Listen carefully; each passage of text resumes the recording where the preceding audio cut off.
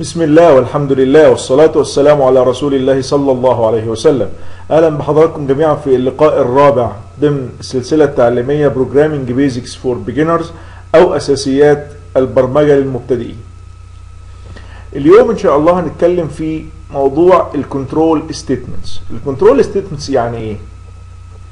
بمنتهى البساطة إحنا اتفقنا إن البرنامج عبارة عن مجموعة خطوات متتالية يتم تنفيذها لأداء مهمة معينة. صح؟ البرنامج إحنا قلنا عبارة عن مجموعة جمل أو مجموعة خطوات. يتم تنفيذ هذه الخطوات أو هذه الجمل لأداء وظيفة معينة أو مهمة معينة. زي مثلا الأمثلة اللي خدناها. إحنا كتبنا برنامج مع بعض اللي هو بيحسب الأريا مثلا بتاعت الريكتانجل أو آه مساحة المستطيل. وكتبنا خطوات عرفنا متغيرات وكتبنا cout و cin و و و. ال compiler في الطبيعي بينفذ البرنامج إزاي؟ بينفذ جملة بعد التانية صح؟ بطريقة متتالية. الطريقة اللي بيقولوا عليها إيه؟ sequential execution. Sequential يعني إيه؟ يعني زي ما مكتوب هنا كده. ال statements in program are executed one after the other. بيتم تنفيذ الجمل واحدة بعد التانية. In the order in which they are written. بنفس الترتيب اللي تم كتابة الجمل دي فيه. صح ولا لأ؟ ده بيقال عليه بقى sequential. Sequential يعني متتالي أو متوالي. ماشي؟ ده الأسلوب الطبيعي في التنفيذ. طيب هفترض اللي أنا لأي غرض حبيت أتجاوز جملتين مثلا وأنفذ الجملة الثالثه أو حبيت عندي جملة أو اتنين أو تلاتة عاوز أكرر التنفيذ بتاعهم أكثر من مرة. هنا أنا بكون خرجت عن الأسلوب بتاع ال sequential execution ما بقاش كده التنفيذ بطريقة متتالية. لا. هنا الأسلوب بقى اسمه إيه؟ transfer of control يعني إيه؟ أنا غيرت غيرت المسار بتاع تنفيذ البرنامج. صح ولا لأ؟ عشان أعرف أغير المسار بتاع تنفيذ البرنامج بحتاج ما يسمى بال control statement خلاص؟ يبقى ال control statements هي بعض الجمل اللي هستخدمها عشان أغير مسار تنفيذ البرنامج. بص كده معايا على ال slide دي. ال slide دي أنا عندي ال sequential execution أدي البرنامج قدامي. هنفترض إن البرنامج قدامي. أدي الجمل. جملة 2 3 4 هنفترض إن دي أرقام الجمل اللي عندي. فانا لو شغال sequential execution خلاص طبيعي. ال compiler بيبدأ ينفذ جملة ورا الثانية زي ما إحنا متعودين. الأسلوب الثاني اللي قلنا عليه transfer of control ده بيحصل إيه؟ هفترض مثلا إن أنا عندي حالة أنا عاوز أنفذ الجملة الأولى مثلا والثانيه والثالثه والرابعة وأتجاوز الخمسة والستة وأنفذ الجملة السابعة. يبقى أنا هنا غيرت في مسار التنفيذ. أو هفترض ان أنا عاوز الجملة مثلا خمسة وستة وسبعة دي أكررها تاني وتالت ورابع أو أنفذها أكثر من مرة. يبقى هنا برضو غيرت في طريقة التنفيذ بتاع البرنامج. خلاص واضح؟ طيب عشان أعمل الكلام ده محتاج ال control statements ال control statement يا جماعة بنقسمهم نوعين. نقدر نصنفهم على نوعين. في نوع اسمه selection control statements وفي نوع اسمه repetition control statement ال selection معناها إيه؟ برافو عليك. انت خدت كلمة select دي قبل كده. select يعني اختيار. آه اختيار يعني إيه؟ يعني هختار المسار اللي يمشي فيه البرنامج. معناه إيه الكلام ده؟ يعني أنا ممكن أكون بنفذ الجملة الأولى والثانيه والثالثه وعاوز اعدي الرابعة والخامسه بناء على شرط معين. أو عاوز أوقف التنفيذ بتاع الجملة أربعة وخمسة دي بناء على شرط معين. فعشان كده بيقولوا عليها إيه؟ selection selection يبقى أنا اختيار المسار بتاع البرنامج بيتوقف على شرط معين. طيب النوع الثاني اللي هو ال repetition ال repetition يعني إيه؟ التكرار. زي ما إحنا خدنا دلوقتي شفنا على الرسمة. أنا عاوز أكرر تنفيذ مجموعة من الجمل عدد معين من المرات. فعشان كده بيسموها إيه؟ ال repetition control statement خلاص واضح؟ تمام؟ النوع الأول اللي هنتكلم فيه اللي هو ال selection statements ال selection statements هناخد أول نوع فيها اللي هو ال if statement اولا يا شباب كلمة if في الإنجليزي معناها إيه؟ لو. لو اللي هي الشرطية. أو في حالة حدوث كذا. ودي بستخدمها إمتى؟ بستخدمها في حالة أما يكون عندي جملة أو اتنين أو تلاتة يتوقف تنفيذهم على تحقق شرط معين. يبقى أنا أثناء كتابتي للكود عندي جملة أو اتنين أو تلاتة. تنفيذ الثلاث جمل أو الأربع جمل أو الجملة دي متوقف على إيه؟ إن في شرط معين اتحقق أو لا. لو الشرط اتحقق يبقى أنا هنفذ الجمل دي. ما تحققش الشرط يبقى مش هنفذ الجمل دي. خلاص؟ ده المقصود بال if statement مثلا هنفترض إن درجة النجاح عندنا من 60 فمعنى كده إيه؟ إحنا عاوزين نعمل برنامج لو الطالب جايب 60 فما فوق نطبع له رسالة passed. passed اللي هي جاية من pass يعني اللي أنت عديت نجحت. يبقى الرسالة بتاعت passed دي هتطبع تطبع إمتى على الشاشة؟ في حالة إن الطالب الدرجة بتاعته أكبر من أو تساوي 60 يبقى اذا أنا أوقفت تنفيذ الجملة بتاعت ال cout passed دي على إيه؟ على الشرط اللي هو يكون الدرجة أكبر من أو يساوي إيه؟ 60 بص كده الرسمة دي رسمة توضيحية بسيطة خالص. أنا عندي شرط. أدي الشرط أهو. الكود ماشي كده يا جماعة في المسار ده.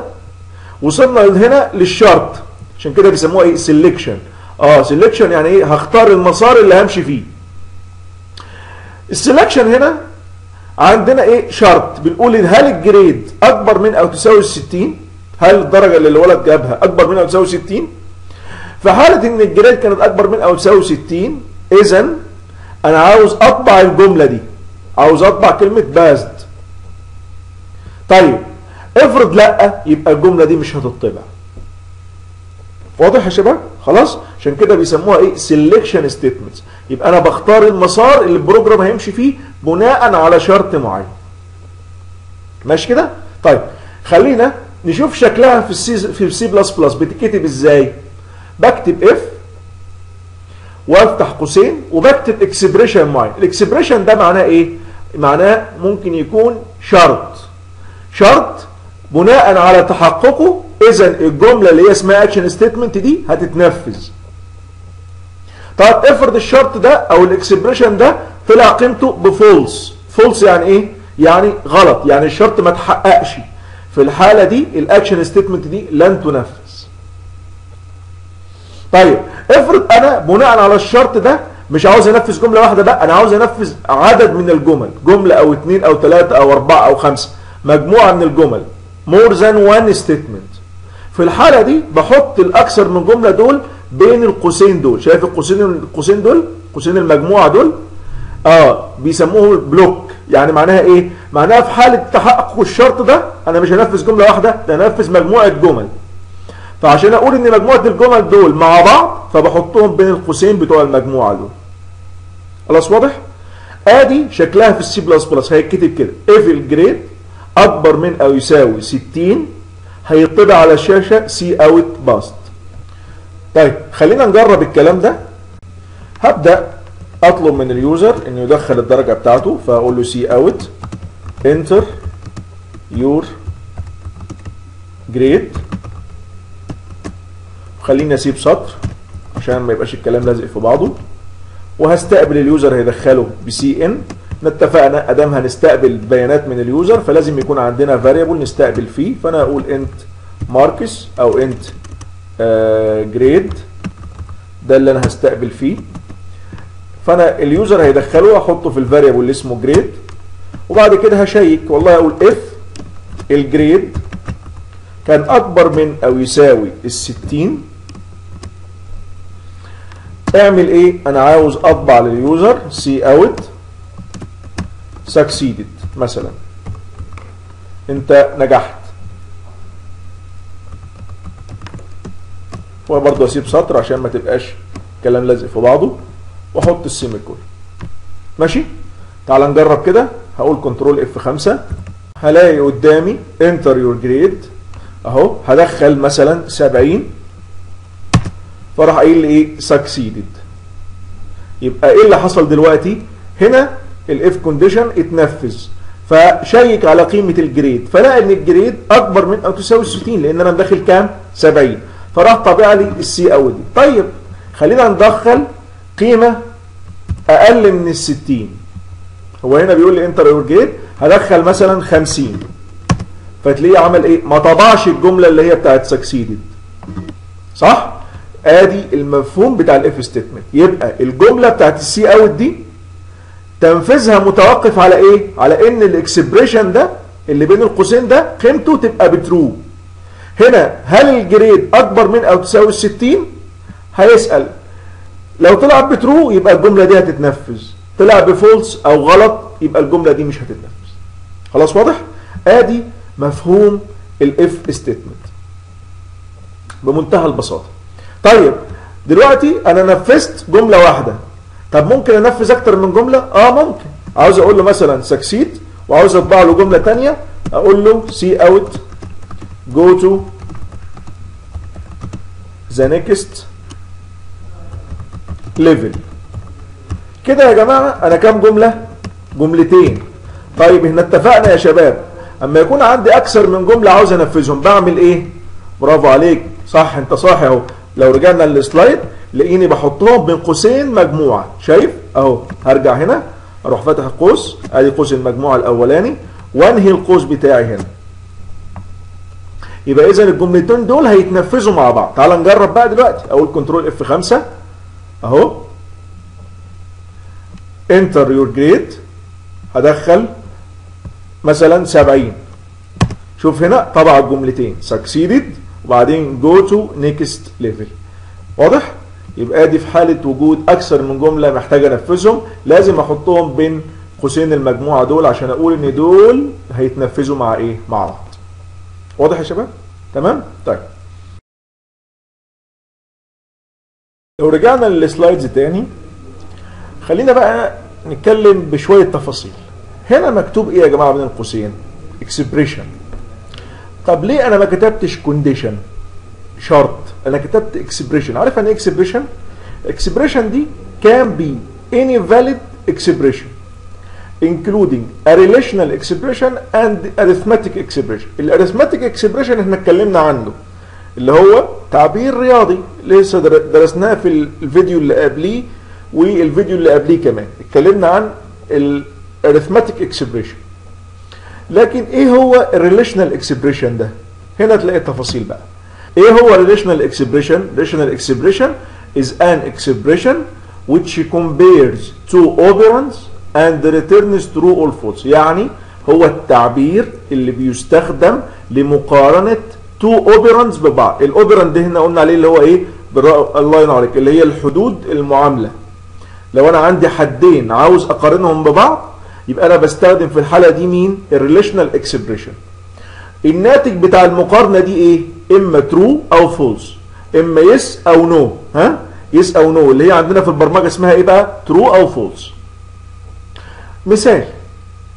عاوز أسأل هل ال a أكبر من أو يساوي ال b ده بيسموه relational expression يبقى أنا عاوز أقارن الحد الأولاني أو ال operand الأولاني ده بال operand الثاني اللي هو ال b مثلا هل ال a أكبر من أو يساوي 99 أدي ال operand الأولاني اللي هو ال a أنا عاوز أقارنه بال operand اللي هو 99 فعاوز أشوف يا ترى هل يا ترى ال A ده أكبر من أو يساوي 99 ولا لأ؟ وهكذا. فده ما يسمى بال relational expression ال operators اللي بتستخدم في ال relational expression بيسموها relational operator بيسموها إيه بقى يا جماعة؟ relational operator آدي الجدول بتاع ال relational operator لو أنا عاوز أقارن هل ال operand الأولاني بيساوي ال operand الثاني بستخدم ال operator اللي هو اسمه equal equal خلي بالك؟ يبقى ال equal equal ده بيستخدم في إيه؟ في إني بشيك. هل ال operand الأولاني بيساوي ال operand الثاني ولا لأ؟ خلي بالك أنت دايما تغلط وتكتب يساوي واحدة. لا. ال relational operator اللي بيستخدم فيه. آآ آآ عشان أعرف الأولاني بيساوي الثاني ولا لأ هو equal equal double equal ها؟ ال oper ال relational operator ده اللي هو not equal أما بحط علامة التعجب قبل اللي يساوي بيسموه إيه؟ not equal not equal يعني إيه؟ كأنك بتقول إيه؟ هل A لا يساوي ال C يبقى أكتب إيه؟ A not equal C طبعا انت عارف دي أصغر من يعني أقل من دي أصغر من أو يساوي دي أكبر من ودي أكبر من أو يساوي. يبقى باختصار بين القوسين بتوع ال if statement أنا ممكن أحط أي relational expression ال relational expression هو expression اللي من الشكل ده اللي بيبقى عندي اتنين operand وعاوز أقارن بينهم. نتيجة المقارنة دي تبقى true أو false في حالة إن ال relational expression ال return بتاعه كان ب true معناها إن الجملة دي هتتنفذ. في حالة إن ال relational expression بتاعي كان ال return بتاعه ب false معناها إن الجملة دي مش هتتنفذ. زي ما إحنا عملنا هنا. لما كتبنا if ال grade أكبر من أو يساوي الستين فكان بيمسك القيمة اللي دخلناها من على ال keyboard. في البرنامج أهو اللي إحنا لسه عاملينه دلوقتي. كان بيمسك القيمة اللي دخلناها من على ال keyboard. ويسأل هل القيمة دي أكبر من أو تساوي الستين ولا لأ؟ أهو ده يا جماعة relational expression أما كان الناتج ب true أه القيمة اللي دخلتها أكبر من أو تساوي الستين كان بينفذ الكود ده. في حالة إن النتيجة كانت ب false لأ ال grade اللي أنت دخلتها أقل من أو تساوي الستين فكان بيعمل إيه؟ فكان ما بينفذش الجمل دي وبيتجاهلها. خلاص واضح؟ طيب. الحاجة التانية اللي عاوزك تاخد بالك منها إن ال expression ده ممكن يكون arithmetic expression يعني إيه arithmetic expression arithmetic expression اللي أنت درسته اللي هو التعبير الرياضي أو المعادلة الرياضية. ينفع؟ آه ينفع. طيب هيبقى true أو false على أساس إيه؟ ما أنت قلت لي إن الجملة دي هتتنفذ في حالة إن بين القوسين ده قيمته كانت ب true. صح؟ آه صح. طيب ال arithmetic expression هيبقى true أو false على أساس إيه؟ هنا هتلاقي الإجابة. In case of using arithmetic expression في حالة استخدام arithmetic expression a non-zero value is considered to be true. آه يبقى لو أنا كتبت بين القوسين أي arithmetic expression قيمته أو نتيجته في الآخر كانت value non-zero يعني إيه؟ أي قيمة موجبة أو سالبة المهم ما يكونش إيه؟ صفر. لو قيمته أي قيمة غير الصفر يبقى اذا كأني معناها إيه؟ ب true. والجملة اللي تحتيها دي هتتنفذ. في حالة إن ال arithmetic expression ده كانت قيمته ب false ب false يعني إيه؟ يعني zero. خدت بالك؟ في الحالة دي يبقى الجملة دي مش هتتنفذ. تعالى أوريك عشان تاخد بالك شوية. يعني بص هفترض إن أنا عندي variable اسمه X X ده أنا اديته قيمة افتراضية 10 أو قيمة ابتدائية ب 10 ورحت كاتب كده. قلت if ال X modulus 3 cout non-zero value وأسيب سطر هنا اللي هو backslash طيب الجملة دي يا ترى هتتنفذ ولا مش هتتنفذ؟ هتطبع الجملة دي ولا لأ؟ إحنا عارفين هتتنفذ لو كان اللي جوه الأقواس قيمته ب true طيب هو اللي جوه الأقواس ده relational expression ولا arithmetic expression لا ال arithmetic expression تعبير رياضي معادلة رياضية. طيب إحنا قلنا ال arithmetic expression قيمته تبقى ب true إمتى؟ لو كانت قيمته non-zero value طيب خلينا نشوف هي العشرة mod الثلاثة أو العشرة modulus الثلاثة اللي هو باقي القسمة يعني. باقي قسمة العشرة على الثلاثة كام؟ واحد. عشرة على الثلاثة فيها الثلاثة والباقي واحد. يبقى اذا الناتج من هنا ها واحد. أدام واحد يبقى non-zero value يبقى اذا الجملة دي هتتنفذ. تعال نجرب. أهو control F 5 بص. هنشوف هيطبع ولا مش هيطبع. طبع طبع non zero value ليه؟ لأنه مسك ال x عمل قسمها على الثلاثه وجاب باقي القسمة اللي طلع واحد الواحد non zero value أدام non zero value يبقى كام؟ يبقى ب true فإذا نفذ الجملة طيب خليني أعملها لك كده بص هخليها على 2 طب العشرة على الاثنين باقي القسمة بتاعتها كام؟ zero لأن 10 على الاثنين فيها الخمسة والباقي zero صح؟ يبقى اذا الناتج بتاع ال arithmetic expression ده كام؟ zero، أدام zero يبقى هنا يعتبر إيه بالنسبة لنا؟ false، يبقى الجملة دي مش هتتنفذ، تعال نجرب كده. أهو. شايف؟ الجملة ما اتنفذتش، ما اتطبعتش على الشاشة non zero value. واخد بالك؟ يبقى إذا أنا ممكن أستخدم arithmetic expression وبناء على ال value بتاعت ال arithmetic expression هل هي zero value ولا non zero value هيتم تنفيذ الجملة دي. ماشي؟ واضح؟ طيب خلي بالك بقى أنا عاوز أعمل حاجة من الغلط اللي أنت بتعمله. لو أنا قلت كده if ال x equal equal 11 اطبع الجملة دي. تفتكر ده طبعا إيه؟ ده relational دي relational expression طيب تفتكر ده true ولا false لا ال x ب 10 يبقى إذا ده false يبقى الجملة دي مش هتطبع صح؟ صح. تعال نجرب عشان نتأكد. أهو. هنا الجملة فعلا أهو. هنا فعلا الجملة بتاعت non zero value ما اتطبعتش. ليه؟ لأن هنا ال relational expression ده قيمته ب false لأن ال x ب 10 ولا تساوي 11 طب بص بقى شوف لو أنا غلطت بقى الغلطة اللي أنت بتعملها كتير في الامتحانات وبدل ما بكتب 2 يساوي كتبت يساوي واحدة. شوف هيحصل إيه؟ control F 5 عمل إيه يا جماعة هنا؟ طبع الجملة. إزاي؟ هي ال x اللي هي ب 10 بتساوي 11 ما هو أنت ما استخدمتش ال operator صح. أنت عارف لما أنت قلت x بتساوي 11 كأنك بتقول له إيه؟ دي assignment statement يعني كأنك بتقول له حط ال 11 في ال x أدام ال 11 اتحطت في الاكس ال x دلوقتي هل هي zero value ولا non zero value لا non zero value ده فيها 11 خلاص أدام non zero value يعني ب true يبقى الجملة هتتنفذ. شفت؟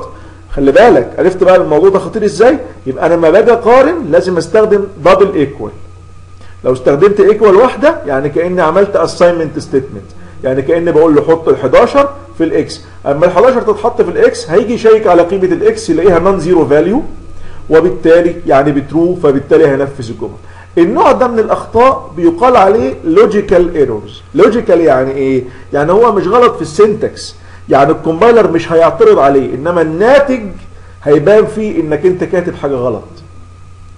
خلاص واضح؟ ماشي يا جماعة؟ تمام؟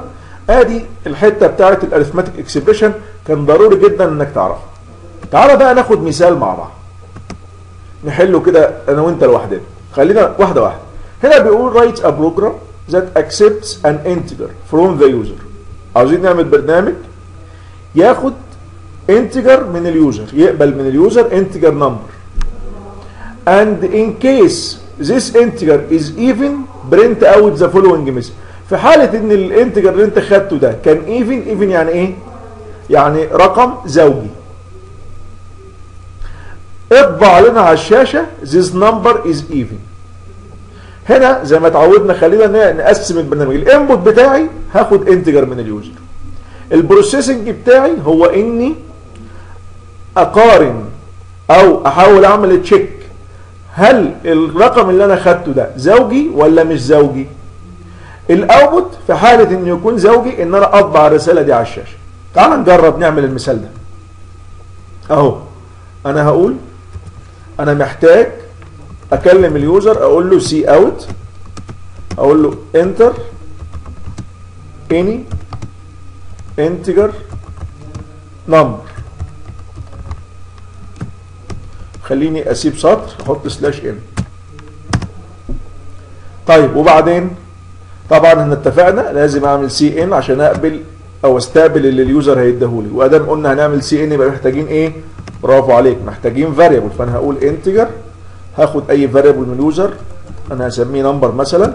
القيمة اللي هاخدها من ال user هحطها في ال variable ده اللي اسمه number هنا عاوزين نعمل check ال check بيتعمل إزاي؟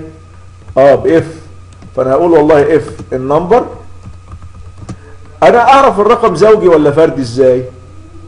ها الرقم الزوجي هو اللي بيقبل القسمة على اتنين. فهكتب كده. أقول if ال number modulus الاتنين equal equal صفر. دي معناها إيه يا شباب؟ معناها إيه؟ معناها لو ال number باقي قسمته على الاتنين كان بصفر معناها إيه؟ إن هو كده رقم زوجي صح؟ يبقى في الحالة دي هعمل c out واكتب هنا this number is even أو هو رقم زوجي. آدي المطلوب مني ال check ده بتحتاجه كتير انت في الامتحانات أو دايما يجي السؤال بتاع هل الرقم ده زوجي ولا فردي؟ فلو أنا عاوز أعرف الرقم زوجي ولا فردي هعمل إيه؟ أجيب ال modulus بتاعه مع الاثنين يعني باقي قسمته على الاثنين باقي قسمته على الاثنين كان بصفر معناها إنه رقم زوجي. otherwise أو غير ذلك يبقى رقم إيه؟ فردي. تعال نجرب كده. control F 5 هنا آدي ال console بتاعي ده ظهر أهو. بيقول لي دخل integer number. فانا هدخل مثلا رقم 20 20 ده زوجي ولا فردي؟ زوجي طبعا. طب أشوف؟ اهو طبع لي. This number is even. طبعا هو هنا ليه لازق فيه كده؟ عشان هنا ما حطيناش آه slash n اللي هي تسيب سطر جديد. طيب خليني اجرب. ادخل تاني. أنا هعدل دي بس قدامك اهي عشان ما يبقاش شكلها مش لطيف. أنا اجرب تاني.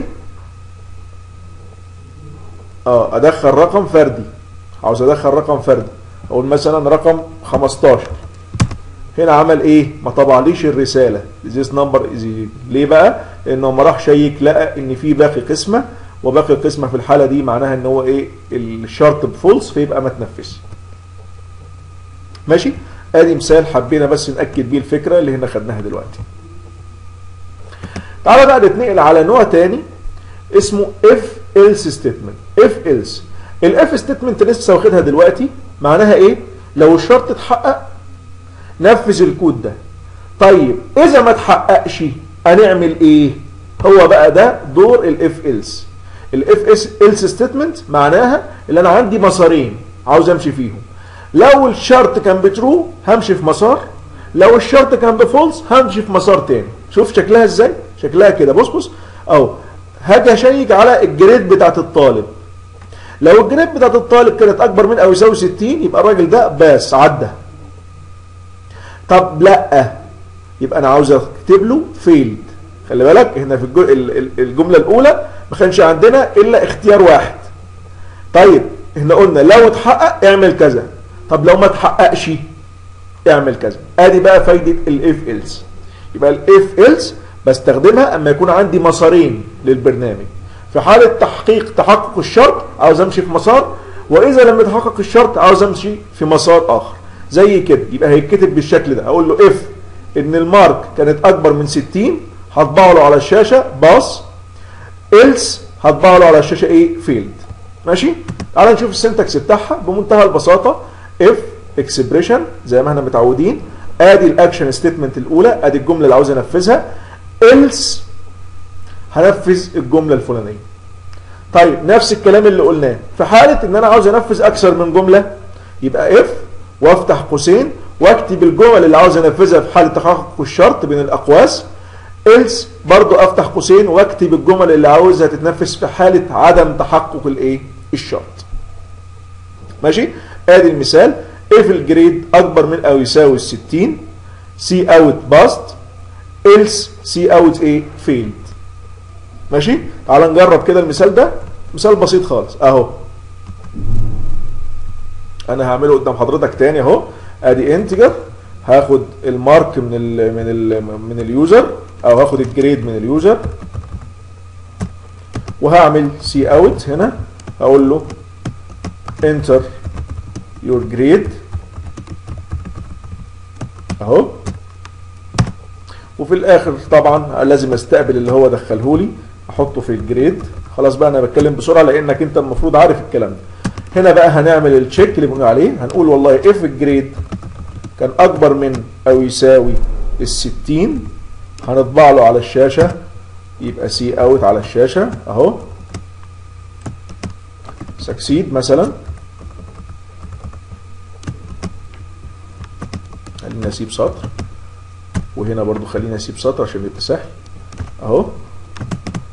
هنا بقى ادي اللي هيتنفذ في حالة إن الشرط كان ب true else يبقى معناها إيه؟ إن الشرط طلع قيمته ب false أو الشرط ما تحققش. يبقى في الحالة دي أنا عاوز أطبع جملة تانية اللي هي failed. لا قدر الله يعني. ربنا يكفينا ويكفيكم شر الرسوب. أهو failed. طيب نجرب؟ خلي خلينا نجرب. أنا هعمل control F 5 أهو. الكود قال لي enter your grade أنا هدخل مثلا آه 40 حصل إيه؟ طبع لي على الشاشة إيه؟ failed ليه بقى؟ إنه راح يشيك على ال if statement هنا. أهو ال grade اللي هو ب 40 طلع لا مش أكبر من أو يساوي 60 يعني طلع الشرط ده ما اتحققش فراح رايح على الجزء بتاع إيه؟ بتاع ال else فطبع لي failed خلاص واضح؟ طيب طبعا الطبيعي لو أنا عملت F 5 دلوقتي ورحت كاتب grade 70 مثلا فيطبع لي إيه succeed لأن هنا الشرط بإيه؟ ب true. خلاص واضح؟ تمام؟ آدي بمنتهى البساطة ال if else يبقى ال if العادية إحنا عرفناها. ال if else بستخدمها. أما يكون عندي مسارين للبرنامج همشي في أي منهم حسب ال condition في حالة ان الشرط اتحقق أو ال condition طلع ب true همشي في مسار معين. في حالة إن ال condition طلع ب false يبقى أنا عاوز أنفذ جمل أخرى أو أمشي في مسار آخر في البرنامج. ماشي؟ تمام. خلينا بقى نرجع لل slides. هنا الراجل مديني مثال عشان نجربه أنا وأنت مع بعض. اسمه إيه؟ بيقول write a program that accepts an integer from the user. برنامج يقبل ال integer من ال user و print out it is positive or negative? آه ويطبع لي هل ال integer ده رقم موجب ولا سالب؟ طب خلينا نعمله أنا وأنت. تعال نجرب نفسنا كده. أنا أهو هقول integer number أنا محتاج أخد number ده من ال user فاقول له cout enter number الرقم ده هستقبله من ال user بال cin وأحطه في ال variable اللي اسمه number اللي أنا محضره ده. وهعمل check فأقول والله if الموجب هو إيه؟ الرقم الأكبر من الصفر صح؟ فأقول له والله if ال number ده كان أكبر من الصفر خلينا نقول أكبر من أو يساوي ال zero في الحالة دي إن هو رقم إيه؟ موجب صح؟ يبقى cout هطبع ان ده positive صح ولا لا طيب else في الحاله else بقى معناها إيه لا ان الرقم طلع أقل من الصفر يبقى في الحاله دي هقول cout ان هو إيه negative سالب صح ولا لا يا شباب ها تمام اهو على نجرب أنا هقول control F 5 عشان انفذ الكود. ادي الكود بتاعي enter number. فأنا هقول مثلا إن أنا عاوز أدخل رقم 5 5 ده إيه؟ رقم موجب positive طيب. خليني بقى أدخل رقم سالب.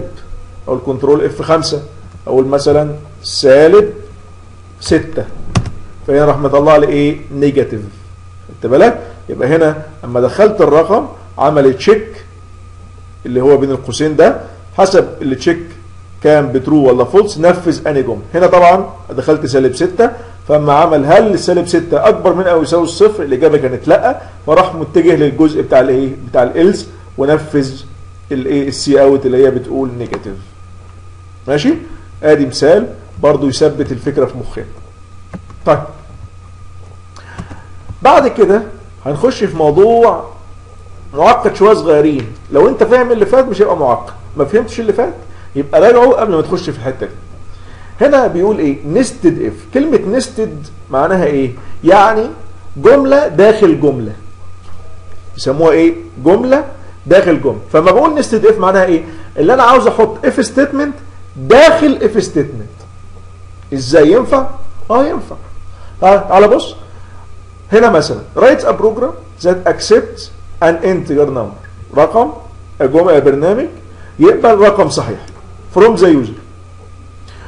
In case the number is positive في حالة إن الرقم كان positive check and print out whether it is even or odd. آه. لما نيجي نحلل البرنامج ده ونفهمه معناها ان أنا عندي كام check دلوقتي؟ two check أول check هسأل هل هو positive ولا لأ؟ يبقى دي check طب هو positive اذا هسأل بعد كده هل هو زوجي ولا فردي؟ فهمت بقى؟ خلي بالك. طيب إزاي هيتم الكلام ده؟ أهو بالراحة كده. أول حاجة if ال number كان أكبر من أو يساوي الصفر معناها إن هو كده إيه؟ positive جواها بقى أو تحتيها سألت هل هو موجب ولا سالب؟ آسف هل هو زوجي ولا فردي؟ تعال نجربها كده. أهو أنا أروح هنا. أول حاجة هسأل هل الرقم positive ولا negative أسألها إزاي دي؟ إحنا قلنا عليها دلوقتي. أو لو الرقم ده أكبر من الصفر معناه إن هو إيه؟ positive طيب في حالة إنه positive عاوزك check لي check تاني. If ال number mod الاثنين أو modulus الاثنين equal equal zero معناها إن هو رقم إيه؟ موجب صح؟ يبقى cout في الحالة دي هكتب إن هو even. طيب. else هكتب إن هو odd. odd يعني إيه؟ فردي. واضح يا جماعة؟ ها؟ شفت؟ شفت ال- الشغل إزاي؟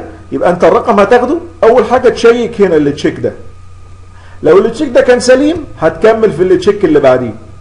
طب ال check ده كان false يبقى أصلا مش هخش أ check على ال check اللي بعده. صح؟ تعال نجرب كده. أهو أنا هقول control F 5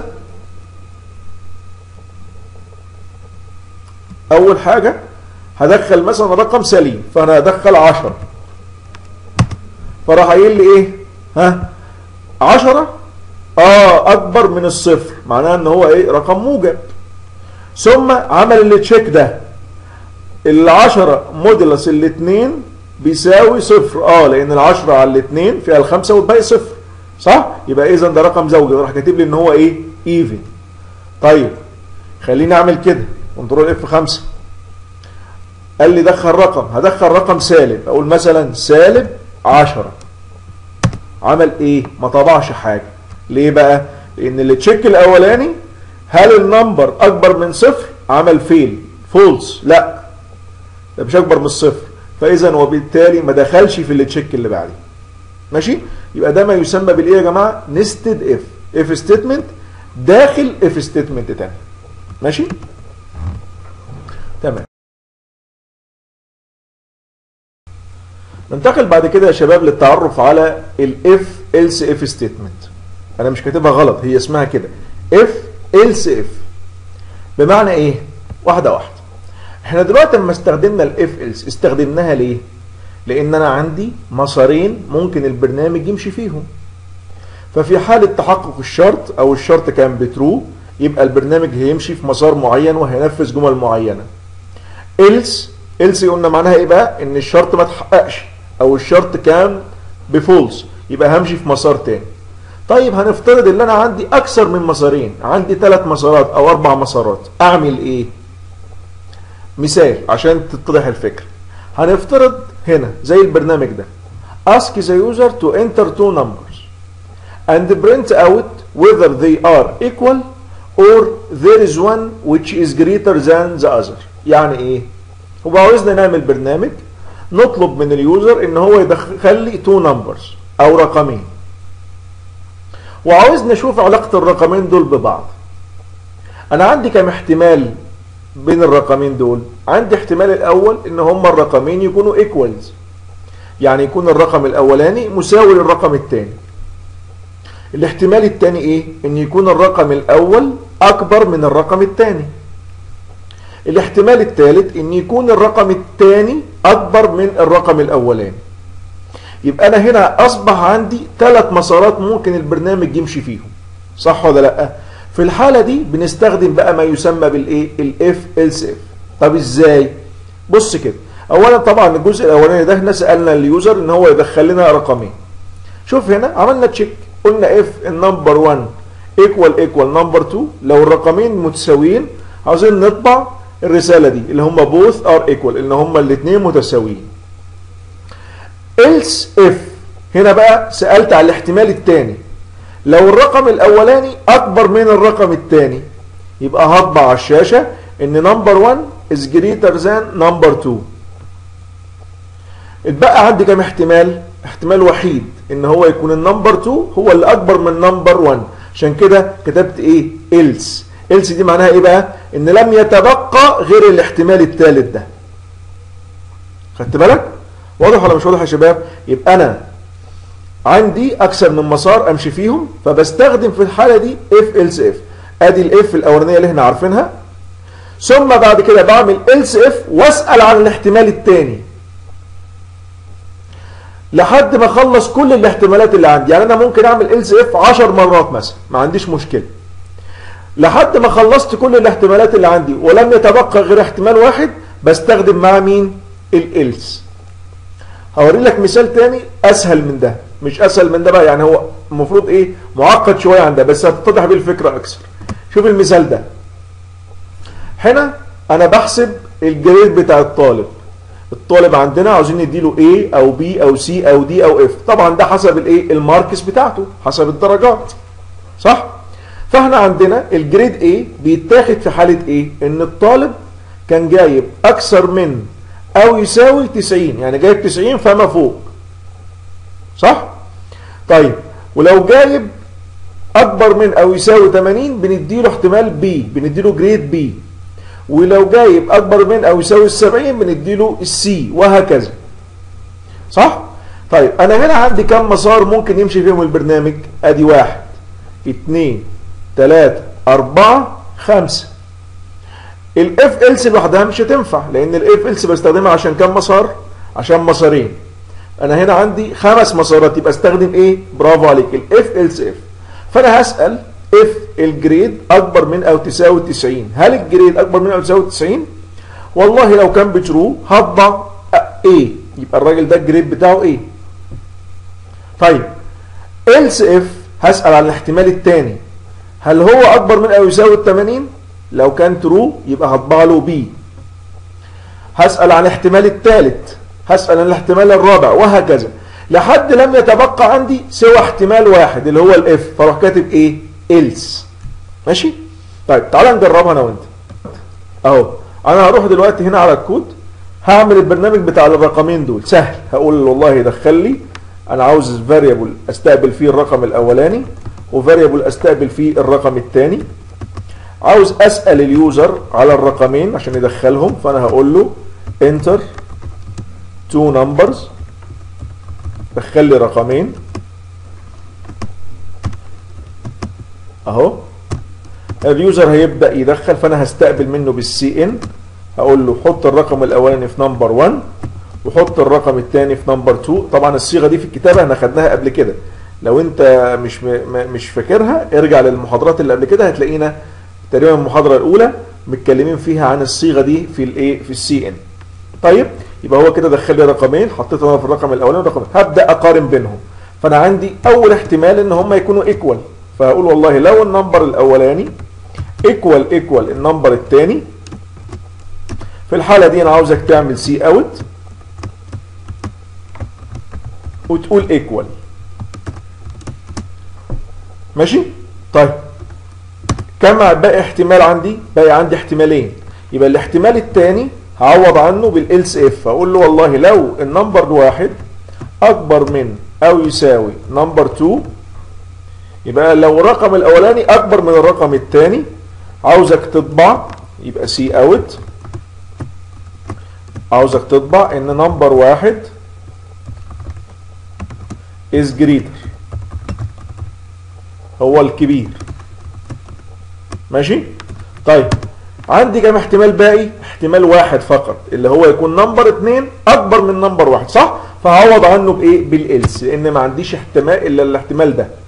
أدي الاحتمال الباقي فبعوض عنه بالإيه؟ بال else. يبقى آخر احتمال عندي هو اللي بستخدم معاه الإيه؟ ال else. واضح يا شباب؟ أهو هطبع في الحالة دي بقى. إن number 2 is greater. ماشي؟ تعال نجرب كده الكود ده أشوف هيشتغل ولا لأ.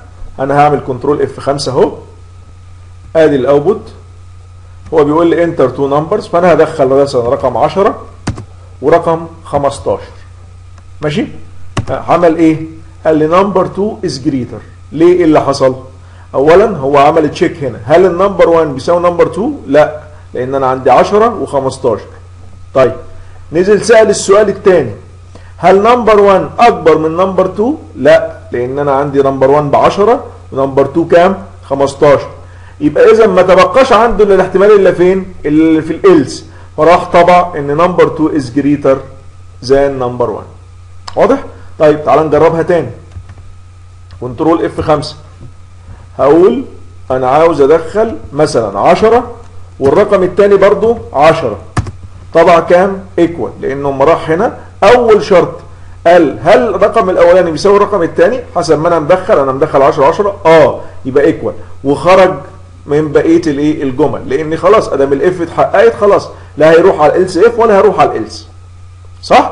طيب خلينا نجربها بقى للمرة الثالثة. control F5 أنا هدخل الرقم الأولاني 20 والرقم الثاني كام؟ 10 هيحصل إيه؟ قال لي number 1 is greater ليه بقى؟ تعال نجرب. هو دلوقتي راح هنا قارن number 1 ب number 2 هل هم equal لا. يبقى يخش فين؟ على ال else if أما دخل على ال else if سأل السؤال هل الرقم الأولاني أكبر من الرقم الثاني؟ فالإجابة كانت إيه؟ true لأن مدخل 20 وال20 أكبر من 10 فراح طابع الجملة دي وخرج من ال else ما نفذهاش. خلاص واضح؟ طيب خلينا نجرب أنا وأنت المثال الصعب. المثال اللي هو كان بتاع ال marks. الكبير ده. خلينا اهو ادي enter آه هناخد حاجة اسمها marks هناخدها من ال user. فأنا هقول لل user لو سمحت دخل لي الدرجة بتاعتك. ماشي؟ cout enter your mark أهو. أما يدخل الدرجة بتاعته أنا عاوز أقراها منه بال cin وأخزنها في ال variable اللي اسمه marks اللي أنا محضره هنا ده. ماشي؟ طيب كده أنا معايا درجة الطالب. هبدأ بقى أحط الاحتمالات بتاعت الدرجة بتاعته. فأقول إيه؟ if أول احتمال عندي إن يكون درجته أكبر من أو تساوي 90 في الحالة دي أنا عاوز أعمل cout أقول له you got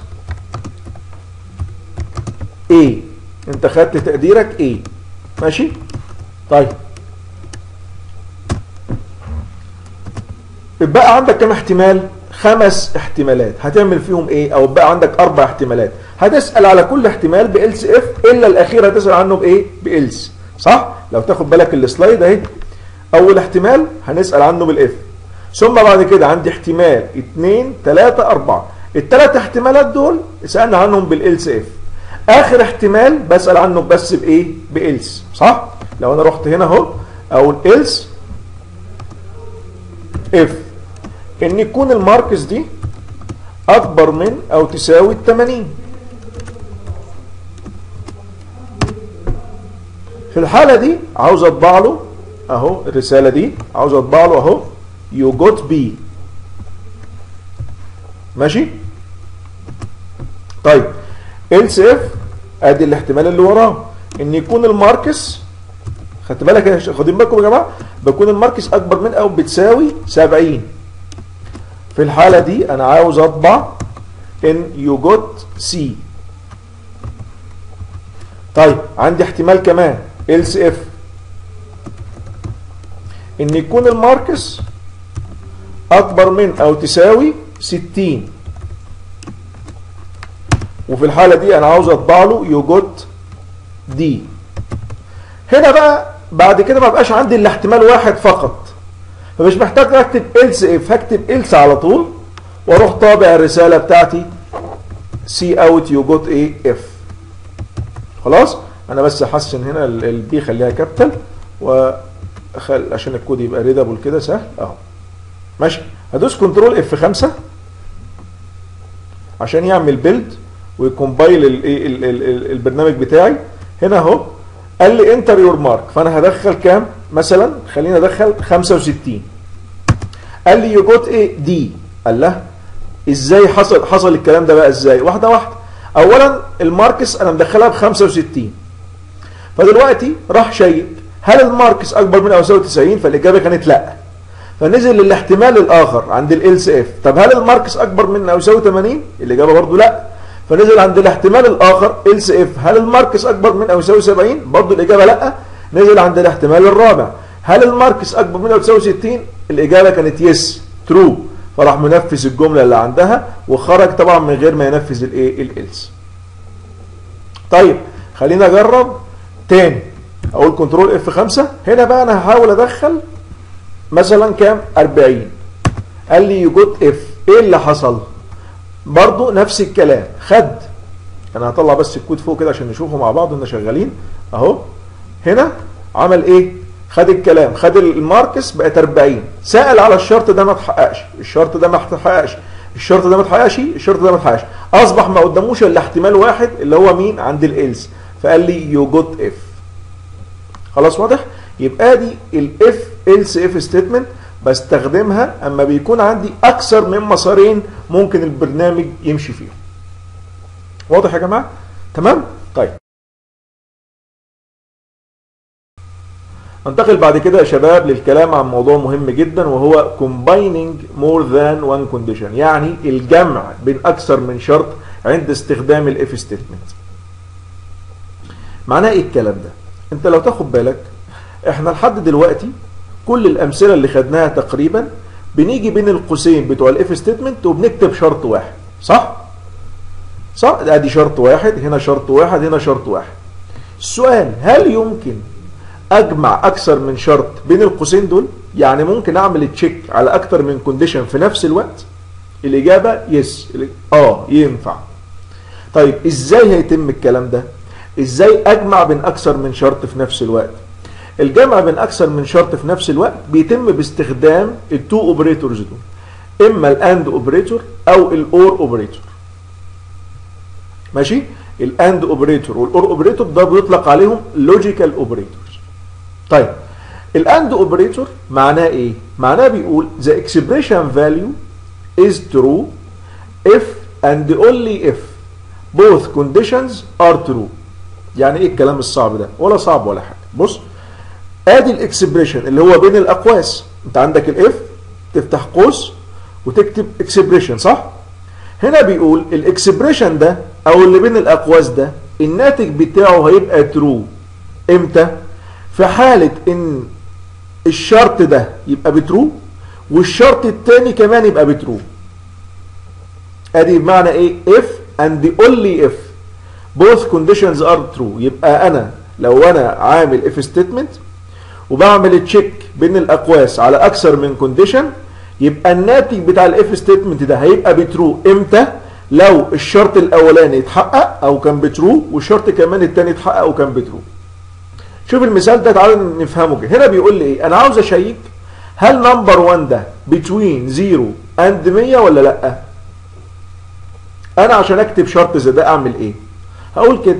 If number 1 أكبر من أو يساوي الصفر and number 1 أصغر من أو يساوي ال 100 مش هو ده معناها between 0 و100 إن هو يكون أكبر من أو يساوي الصفر وأصغر من أو يساوي ال 100 أنا كده جمعت بين شرطين صح؟ يبقى الرقم هيبقى between ال zero والمية إمتى؟ لو اتحقق الشرطين دول مع بعض. ففي الحالة دي هقول إن ال number is between 1 and 100 else. Else معناها إيه؟ أنت عارف؟ Else معناها إما الشرط الأولاني ب false والتاني ب false أو إما أحد الشرطين حتى بإيه؟ ب false. صح؟ ماشي؟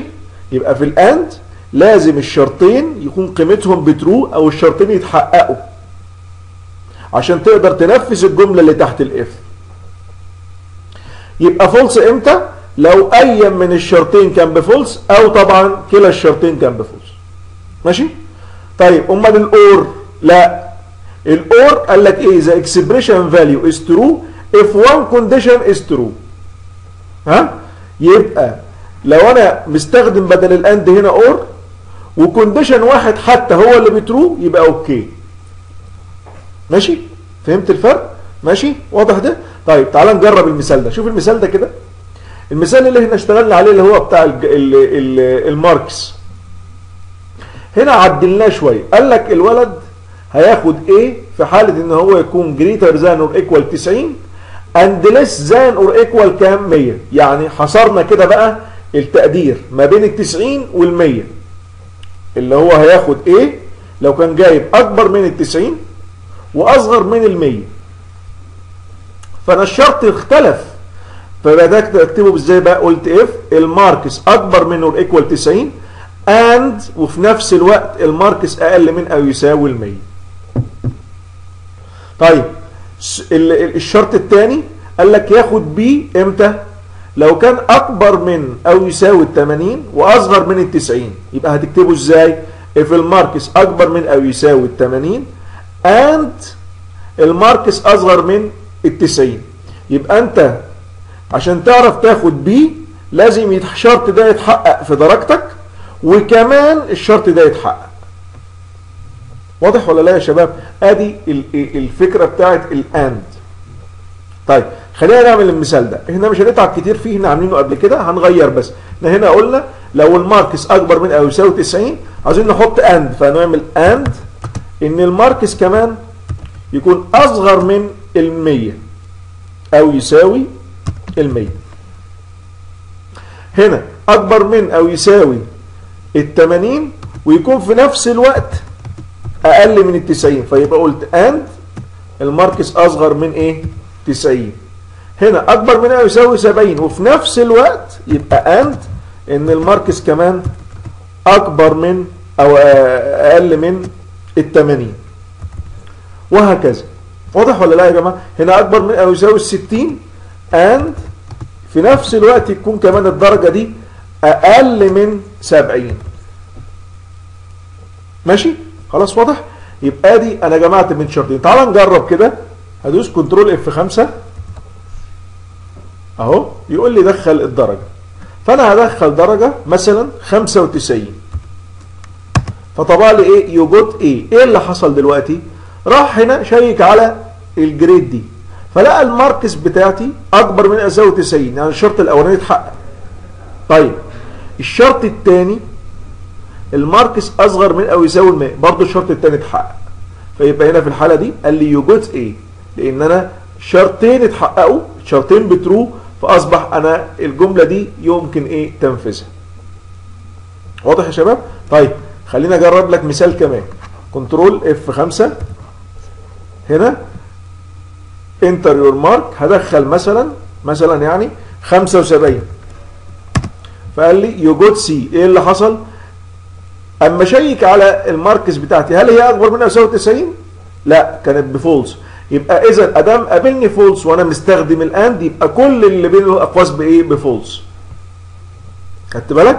طيب وصلنا لحد هنا ال 70 هو أكبر من أو يساوي ال 70 yes طب هل هو أقل من ال 80 yes ب true يبقى اذا الشرطين اتحققوا فاذا طبع لي الجمله بتاعتي يوجد سي ماشي؟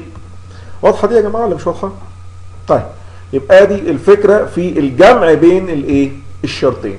أجمع بين الشرطين إن أنا أحط بينهم أند أو أحط بينهم إيه؟ أور.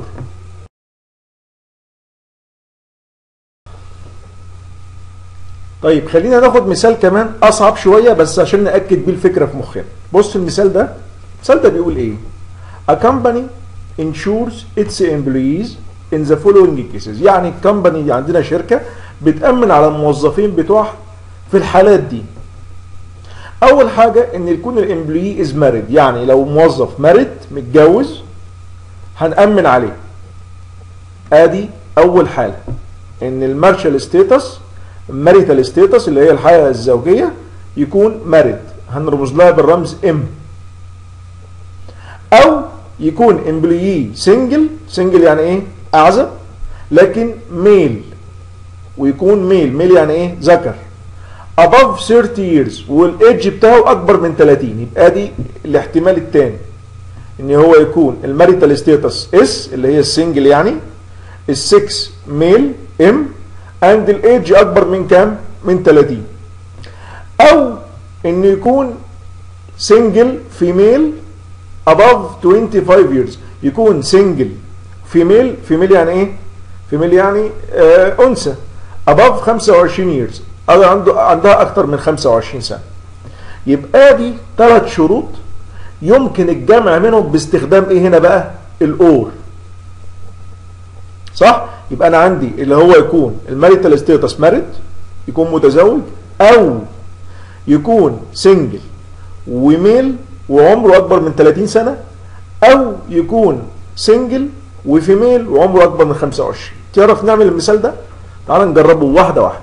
طبعا إحنا هنا عندنا input parameters أو input arguments عاوزين ناخدهم من ال user أو variables عاوزين ناخدها من ال user. زي مين؟ اولا حالة الحالة الزوجية والسكس اللي هو النوع والايج العمر طيب خلينا نجربه بإيدينا كده أهو. أنا هعمل variable نوع character أستقبل فيه ال marital status اللي هو الحالة الزوجية. و character تاني محتاجه عشان أسجل فيه الجندر اللي هو النوع أو السكس ومحتاج integer أخزن فيه الإيج. ثم هبدأ أسأل ال user هقول له cout enter your marital status أو الحياة الحالة الاجتماعية بتاعتك status أهو. ماشي؟ طيب. ثم cout طبعا بعد ما ظهرت له دي فأنا لازم أستقبلها ب cin أنا بعملها لك بالأسلوب السهل أهو عشان لو ما يبقاش الموضوع صعب. cin الناتج بتاع ده هقبله فين؟ في ال variable اسمه marital اللي أنا مجهزه هنا. أهو. وهطلب تاني cout أقول له enter your gender اللي هو النوع بتاعك ذكر ولا أنثى. ماشي؟ وهقبل الكلام ده في variable اسمه إيه؟ جندر اللي أنا محضره عشان أقبل فيه النوع. واطلب cout تاني. أهو. عاوز enter your age وبرضه نفس الكلام. هستقبل الكلام ده هعمل cin أهو وهطلب منه الكلام ده يدخله لي في ال variable اللي اسمه ايج اللي أنا مجهزه. طيب عاوز أبدأ بقى في كتابة ال conditions بتاعتي كتابة الشروط. عشان ما أغلطش أبص على ال slide ال slide هنا بتقول لي إيه؟ إن أول حاجة إن هو يكون ال marital status بتاعته M أو الحالة الزوجية بتاعته إن هو married هروح قايل if ال marital equal equal ما انساش اوعى تكتب equal واحدة. ها؟ equal equal M ادي الحالة الزوجية إن هو married أو or or يعني إيه؟ أو. شفت بقى فايدة اللي إحنا حللنا المشكلة قبل ما نبدأ في الحل؟ عرفت بقى؟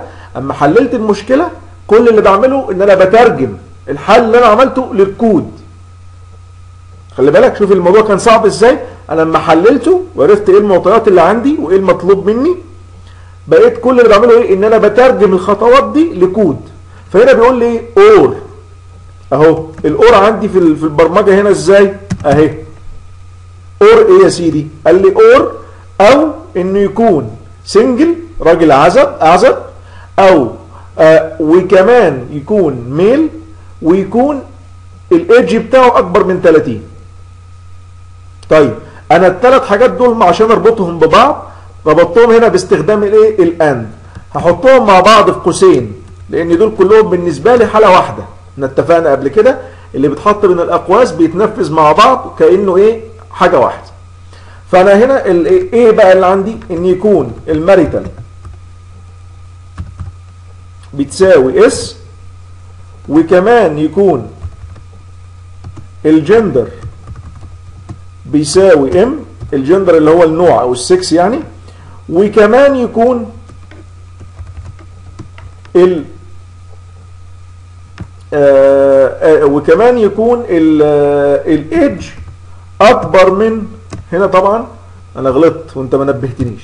وكمان يكون الايدج أكبر من 30 آدي الاحتمال الثاني أرجع لل slide. or في احتمال كمان آه or يبقى هجمع بينهم بإيه؟ ب or. برافو عليك. آدي or. الاحتمال الثالث هو هو تقريبا الاحتمال الثاني فأنا هاخده copy عشان ما أكتبش كتير. هاخده copy أهو لكن هعدل فيه بس الشروط المطلوبة. or إن يكون ال marital status single وال gender female أو النوع female انثى ويكون الإيدج أكبر من 25 واقفل القوس اللي أنا كنت فاتحه بتاع ال if ماشي؟ طيب.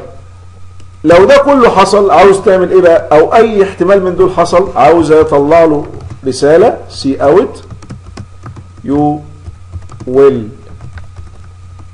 get insurance.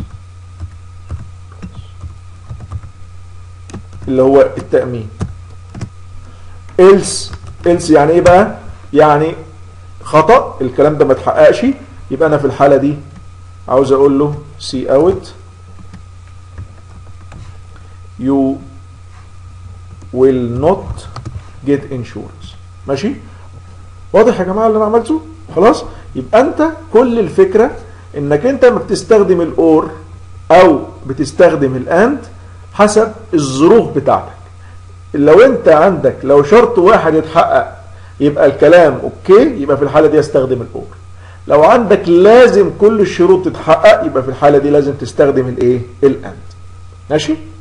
طيب لو أنا عاوز أجرب هدوس control F 5 هبدأ أدخل البيانات المطلوبة فبيقول لي enter your marital status فأنا هدخل M. قال لي enter your gender فأنا هدخل M. ثم enter your age هدخل مثلا 40 قال لي you will get insurance تفتكر ليه؟ أهو لأن أول شرط اتحقق. أنا مدخل في ال marital status إيه؟ M فأدام شرط واحد اتحقق ب true. يبقى باستخدام ال or خلاص يبقى كل الناتج ب true.